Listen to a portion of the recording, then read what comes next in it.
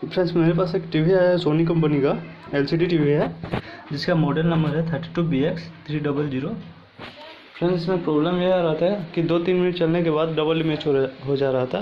तो मैंने तो ऑलरेडी प्रॉब्लम सॉल्व कर दिया है। तो कैसे मैंने, क्या करके प्रॉब्लम सॉल्व किया हूँ, वो आपको बताऊँगा वीडियो में। देखिए पिक्चर पूरा क्लियर आ रहा है अभी। तो चलिए मैं बताता हूँ आपको क्या क्या है मैंने इसमें। ये इसका स्कैरर बोर्ड है पूरा। ठीक है? यहाँ से लेफ़्ट साइड में मैंने कुछ ट्रैक कट किया है, आपको दिखाता हूँ।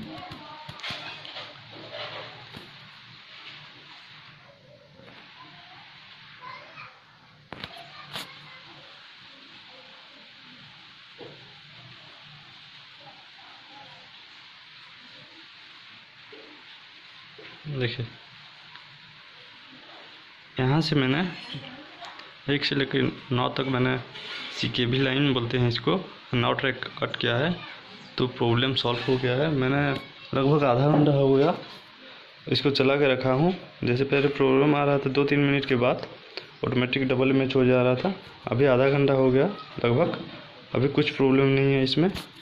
दिखाता हूँ आपको फिर मेनू ओपन करके। देखिए, पूरा क्लियर आ रहा है इसमें। मेनू भी प्रॉब्लम सॉल्व सॉल्व हो गया है दोस्तों। थैंक यू दोस्तों, आप अगर हमारे चैनल में नए हो तो प्लीज़ चैनल को सब्सक्राइब कीजिए, और लाइक कीजिए, और साथ में बेल आइकन को प्रेस कीजिए, ताकि ऐसे नए नए वीडियो आपके पास पहले पहुँच सके। धन्यवाद। वंदे मातरम।